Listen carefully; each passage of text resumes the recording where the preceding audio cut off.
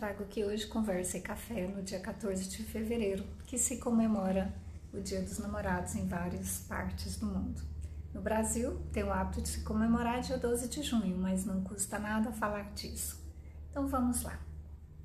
Relacionar-se né, com alguém ou com você mesma é o que se traz então esse dia, essa reflexão que eu estou propondo a você.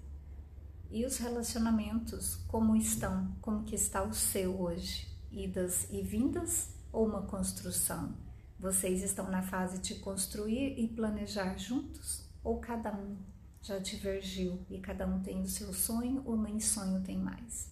E você, Diva, que já está além dos 40, né? Divas mais 40, você se permite se construir nesse, nesse dia, nesse momento? Como que está isso dentro de você? Você reflete, observa como que está o seu relacionamento? Ou se você finalizou um relacionamento, está no processo de divórcio, de separação, como que está essa construção de solteira, de mulher divorciada? Então, o espaço feminino traz para você ferramentas, traz comunicações de forma que você se permita essa construção de uma forma saudável.